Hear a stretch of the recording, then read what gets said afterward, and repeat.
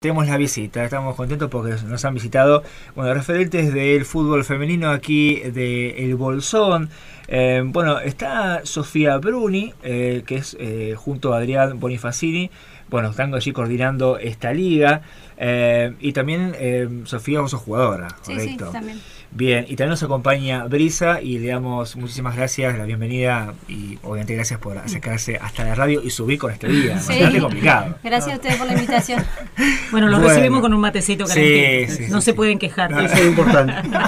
bueno, bienvenidos. ¿eh? Bueno. bueno, ¿cómo comienza esta historia primero? ¿A partir de cuándo? ¿Desde hace cuánto tiempo? Porque el fútbol femenino este, así organizado es relativamente nuevo, si bien ya una jugaba cuando éramos chiquititos.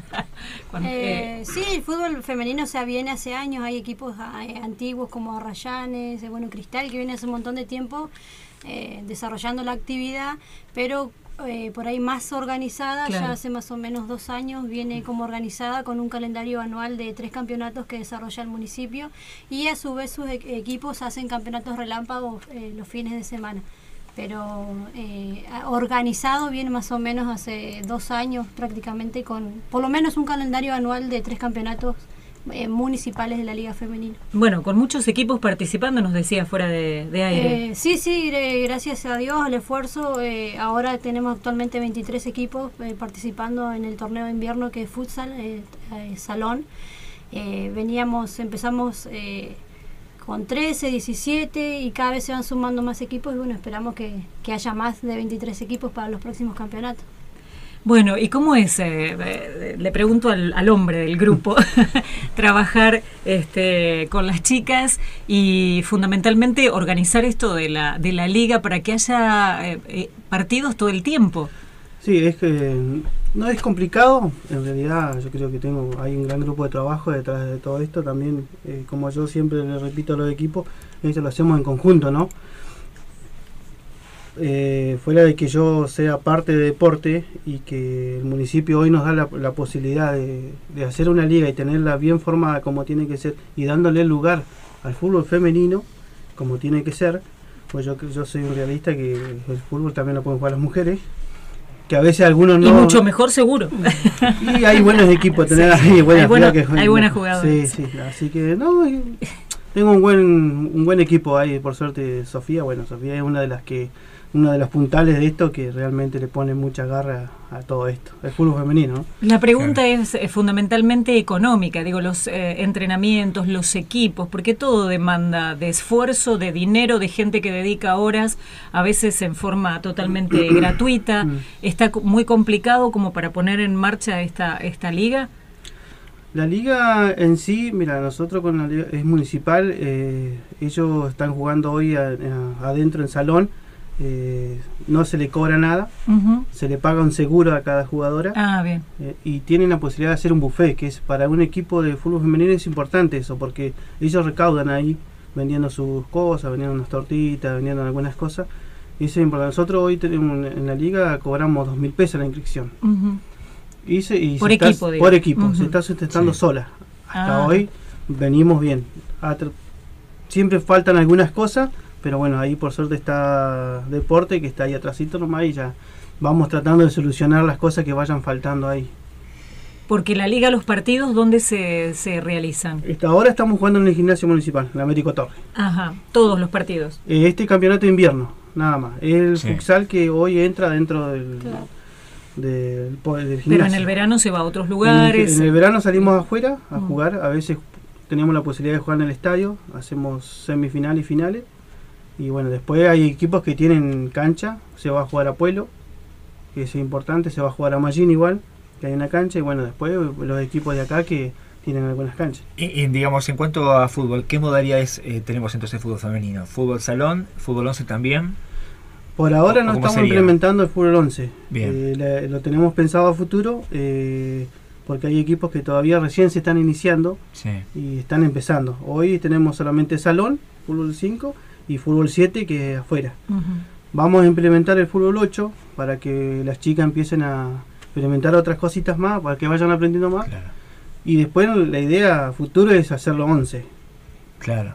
Digo, no, porque también aquellos que nos gusta el fútbol, eh, y que hemos transitado eh, de, jugar en cancha de 5, cancha de babi, como se dice muchas veces, baby fútbol, es un aprendizaje empezar a jugar de, cancha de 11. También hay un proceso de formación deportiva que imagino que debe ser, eh, hay que transitarlo también con las mujeres, ¿no? Así como nos pasa en la que jugamos muchas veces en los clubes de más pequeños, jugamos en clubes de baby fútbol, después tienes que aprender a jugar en cancha de 11 y todo eso. Pero en cuanto a la demanda, ¿no? De, de chicas que se quieren anotar digamos, ¿hay, ¿hay demanda suficiente para poder hacerlo?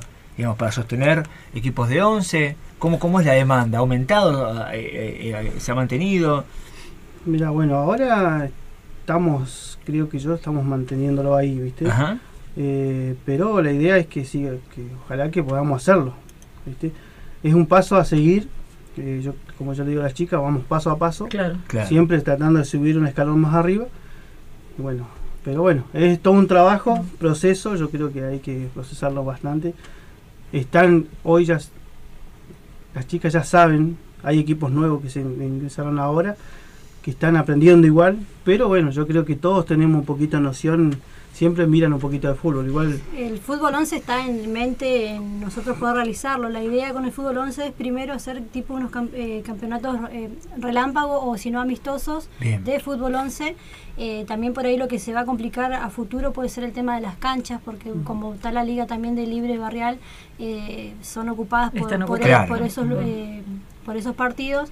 Entonces, si en algún momento se llega a implementar el fútbol 11 femenino, por ahí deberíamos resolver el tema de la de las canchas donde se podrían jugar los partidos.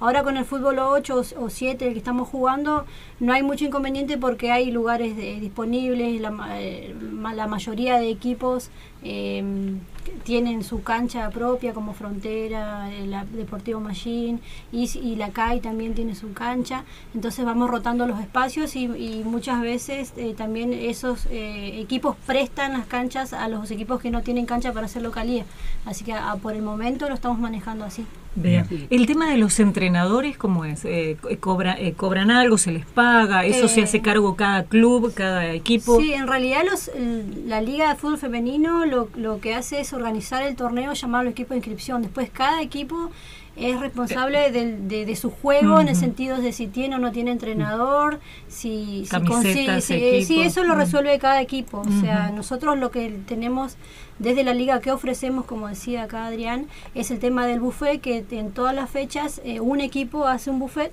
y ese dinero que el, que el equipo recauda se lo queda al equipo y, lo gasta para sus o sea, para gastos propios, si es en camisetas, si es en arbitraje, eh, o sea, eh, eso lo resuelve cada equipo. Si tiene o no tiene entrenador, si buscar los espacios donde entrenar, eh, a veces muchos equipos pagan horas en el gimnasio o en los lugares privados para poder mantener un entrenamiento semanal. Eh, por ahí hay equipos como Frontera o el de Fanáticos que consiguieron eh, horas en eh, lo que es el Zoom del paraje Entre Ríos. entonces, eso lo maneja cada equipo. Bien, bien. Es, una, es, una realidad también que Bolsón a veces hoy ha crecido demasiado y hay muchos equipos hoy y cuesta encontrar los espacios. El, lugar. El lugar para que... Si hoy, mira, tenemos en deporte cuántas actividades y a veces no se, no se da abasto eh, hoy hay una posibilidad que el fútbol femenino está jugando adentro, es, la primera vez. El año pasado ya jugamos y esta es la segunda vez que podemos meter el fútbol femenino a salón. ¿Cómo juegan los hombres?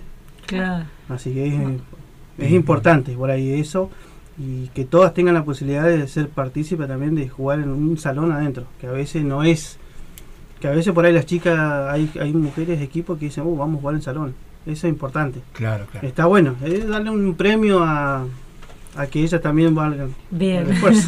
eh, bueno, Brisa, ¿qué edad tenés? 20. 20 años. ¿Y jugás para? Para FC Bolsón. FC Bolsón. Bien, ¿desde hace cuánto? Eh, es un equipo que se armó hace poco, pero...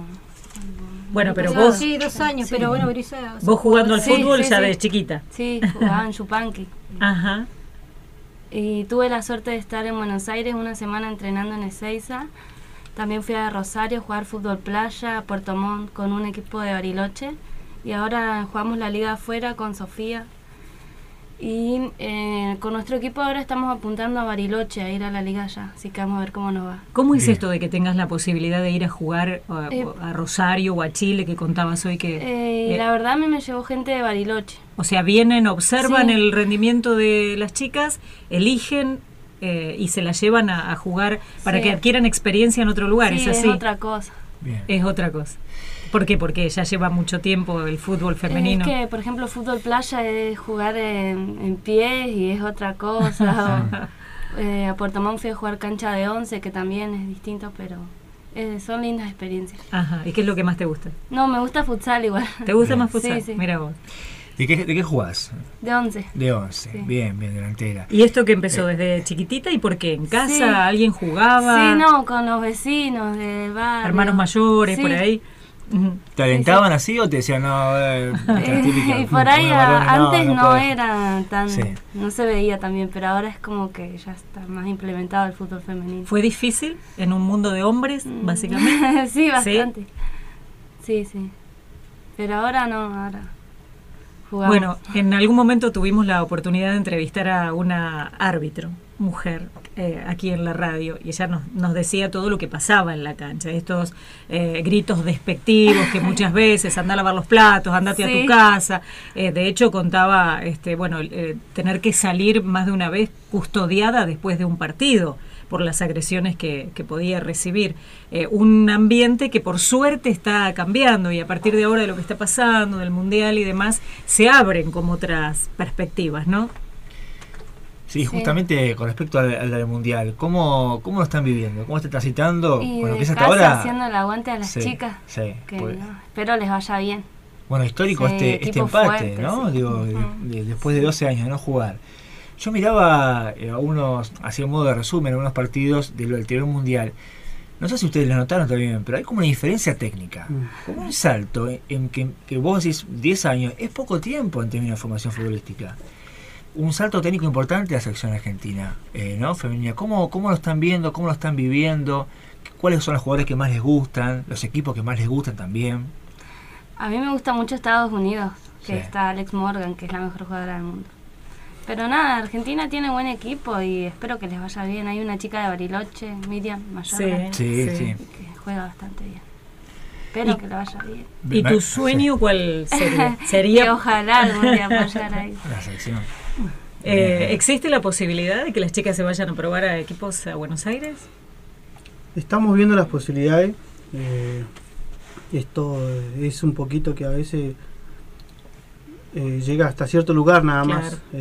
claro. Así Cuesta que más en el interior. Hay que hacer un poquito más de. Yo creo que hoy son futbolísticamente ha crecido muchísimo y tenemos la potencia como para decir, bueno, queremos que que las vean. Que vengan a verlas. Tenemos una, una, nena de dos, 12 años. Sí, eh, Bayer Lucía. Bayer Lucía, que ah. es una excelente jugadora.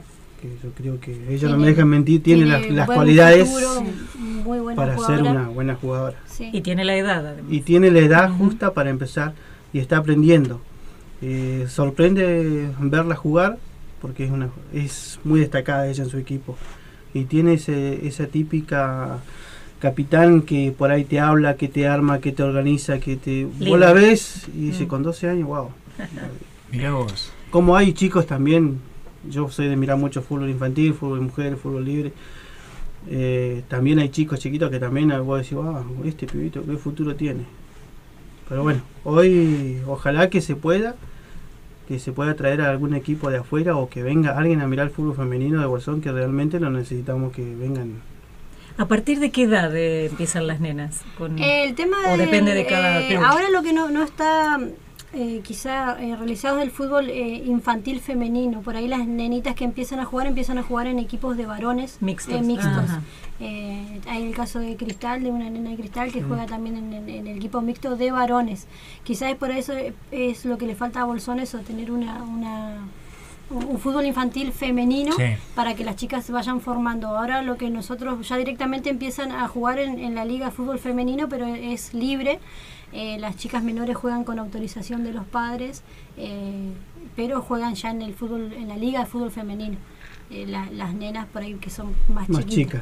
Claro. Igual, por más que ellas sean chiquitas, todas las, las mujeres que juegan al fútbol siempre cuidan claro las protegen, las, protegen a las más chiquitas, sí, más chiquitas claro, sí, sí, o sea no va a ir a una, hacer una jugada brusca con una nena o sea, eso, por suerte los equipos tienen eh, quizás ese cuidado y también los reparos de, de los técnicos en por ahí en partidos duros no, no ponerla pero bueno eh, quizás eso es lo que está faltando tener una formación infantil femenina y que las chicas vayan subiendo sus categorías y jugando eh, fútbol femenino eh, desde infantil hacia... No perder lo otro, ¿no? Por más que la técnica esté, no perder todo lo otro que hay que vivir, lo del compañerismo, lo de la diversión, lo de jugar más que nada para entretener, sino para competir.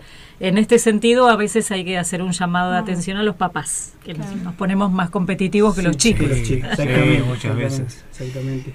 Eh, sé que justamente vos que mencionabas ahora la formación, cuando iba viendo el tema del mundial, en Japón tienen el, ya en primaria, digo, lo que es la, escuela, primaria, tienen la, materia fútbol, las chicas. O sea que ya de chicos vienen con una formación eh, importante, muy pequeñitas, ¿no? También se podría hacer, ¿no? Se podría incorporar, me ocurre, ¿no? esa, eh, esa como no sé si como materia, como disciplina formal el fútbol a las mujeres, ¿no? Para fomentar un poco la, formación y el deporte. Claro, sí, sí, la verdad que sí, estaría bueno. Eh, ya te digo, desde que desde chicas tengan por ahí su categoría y su equipo femenino desde inicial, como tienen los nenes, hacia las categorías más altas. Eh, claro. Estaría muy bueno hacerlo. Bueno, ¿y cómo está el torneo hoy? Y hoy estamos jugando, eh, la, se jugó la tercera fecha. Eh, ahora que se vienen dos días feriados, los el lunes y jueves, vamos a, adelantar fechas, así que ahí vamos a, jugar varios partidos este fin de semana. Se va a jugar el domingo, el lunes y el jueves. Eh, por ahí tenemos complicación con el espacio porque como también el, el, gimnasio lo compartimos con otras actividades no entra la fecha completa, así que vamos a ir metiendo partidos en los horarios que tenemos ah, disponibles. bien. Pero bueno, se están jugando lindos partidos, algunos con muchos goles. Eh, bueno, la invitación y otros que están más peleados, sí, sí. La, verdad que es un ambiente muy lindo, muy familiar. Las chicas, como la mayoría tenemos hijos, eh, pasamos todo el día en gimnasio con, con los chicos, con, o sea, el que tiene familia va con su familia, así que la verdad que se genera un ambiente muy lindo, eh, deportivo. Hasta ahora no hemos teniendo, tenido inconvenientes o conflictos de por ahí de peleas y esas cosas que por suerte se está desarrollando todo normal y, bien. Bueno, y en la tabla de posiciones, como no sé si se puede mencionar. Eh, sí, ahora los equipos que están apuntando en los primeros puestos es bueno Cristal Azul, eh, a Rayanes, esta Frontera y ¿cuál otro más? Y, Refugio. Son los equipos que están por ahí más eh, con, más puntaje. Igual de todas formas tienen dos partidos, tenemos 20 son 23 fechas las que se van a jugar, es un campeonato que es todo contra todos, así que falta bastante del campeonato para como para ya tener, pero son los equipos que por ahí tienen un nivel de juego un poquito más, más elevado porque son equipos que vienen hace un montón de tiempo jugando y, y, conocen bien lo que es el fútbol de salón, que por ahí para los equipos nuevos es como medio diferente hasta que se, se, acoplen al juego. Bueno, por supuesto con la participación de los papás, que es fundamental que colaboren todos, para, la, para lo que sea, para la compra de camisetas, para los traslados, para, siempre hace falta que estén los papás. Por, por, suerte ahora como jugamos en un solo lugar, eh, quizá no hay tanto inconveniente con, el, con, el, con, los traslados y, sí, los equipos, por ahí los equipos también se, se, se trabajan como para mejorar su juego y, por ahí si tienen que comprarse juego de camiseta y eso siempre están haciendo alguna venta de números, venta de algo para, para sustentarse eh, la inscripción, sustentar eh, lo que es el, juego de camiseta y, las demás cosas que, que conlleva estar en un equipo de fútbol. Eh, ¿Brisa estás estudiando? No, ya terminé. Ajá. Sí. Por ahora estoy haciendo cursos y eso. Ajá para quedarte aquí. Eh, ¿Y tu sueño es poder mm, vivir del fútbol? Sí, ojalá. aquí es complicado. pero, este, así Por que... ahí en Bariloche hay como más, más salida, digamos, del fútbol. Así que eso está siempre ahí eh, como iniciativa, de, ir a probarte a otro lugar. Pero recién ahora fue, ¿no? Que el año pasado fue que San Lorenzo fue el primer... Eh, sí, que, claro. sí, los primeros pasos de profesionalización. Claro. Con un sueldo. Así que hay que ver, ¿eh? porque es todo, digamos, un espacio que está creciendo muchísimo y sin dudas creo que muy poco tiempo vamos a tener ligas profesionales, ¿eh? pagas y demás. Bueno, gracias por haber venido y ponemos a disposición los espacios para, bueno, anunciar cuando hay partidos, comentarle a la gente. Por ahí hay muchos que les gustaría ir a ver y, y sí, sí. Bueno, gracias a ustedes por la invitación eh, desde ya. Eh, también está la página de deporte donde nosotros todos los ah, eh, bien. todos los en la semana subimos los horarios de partidos, los días, los resultados, la tabla de posiciones, así que ahí pueden ir siguiendo en deportes cómo van los el, perdón, Deportes Municipalidad de, sí, de, Bolsón. Sí, sí, Deportes de Bolsón. Perfecto. Se va actualizando. Ahí sí, sí, todas las semanas se va actualizando. Los chicos de, fanáticos también nos eh, llevan la tabla y las, eh, hacen notas alusivas a los resultados del fin de semana. Así que en eso estamos. Bueno. Estamos, estamos Nos alegramos que estén en marcha y a disfrutar. Brisa, suerte, toda la suerte del Muchas mundo. Gracias. Bueno, gracias por haber venido. No, gracias a ustedes por la invitación y bueno, déjame agradecer que eh, somos parte de la comisión también que está, bueno, está Sofía, está mm, Adriana Delgado. que también es parte de la comisión, que ellas son las mujeres que yo tengo que, que están ahí, que son firmes. Y bueno, y después, bueno, no quiero, hablamos de la, de la mujer más chica del, de los equipos, pero también tenemos mujeres más grandes que juegan también. que juegan también y juegan bastante bien que es otra categoría. de qué edad no juegan mixto pero, está Norma Cole que está la chica de Estela eh, Reina que son de que, vendrían a ser las mami exactamente. Muy bien. Y hacer eh, un nombre que le pusimos al campeonato que es eh, a una señora que que realmente ella inició mucho en el fútbol femenino como en el fútbol libre, de hombres, eh, que es Adela Colque, que ella es una de las, yo creo que una de las mujeres más grandes. Yo tenía 18, 16 años cuando la conocí, así que ya, ya estaba en creando el fútbol femenino. Fanática del fútbol. Sí, hoy está atravesando un, problema de salud complicado, está en Bariloche internada. El, mm. de este torneo es en, homenaje a ella, eh, a la trayectoria que ella tiene en el fútbol femenino, más que nada en Arrayanes. Tiene a sus hijas y sus nietas también eh, en, los, en diferentes clubes que siguen su, legado en Frontera, en FC, en Arrayanes. Y bueno, hoy justo hoy se encuentra atravesando un problema de salud, así que la, Liga de Fútbol también acompaña a la familia eh, bueno, en esta lucha que, que Adela está pasando. Y bueno, el campeonato es en homenaje a ella, se llama eh, Adela Col. Adela Col, que bueno, mandamos un abrazo a la familia y ojalá se reponga muy pronto.